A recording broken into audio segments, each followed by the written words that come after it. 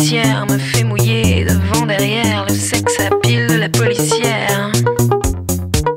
Je lui demande ma direction, la policière est super canon, elle m'amène jusqu'à sa maison et là j'enlève mon pantalon. La policière aux cheveux bouclés dans son uniforme super moulé, en mes tétons tout pointé, je prends mon pied, je prends mon pied. Elle m'attache avec ses menottes, la policière se déculotte, la policière a du chagrin et moi j'enlève Discard.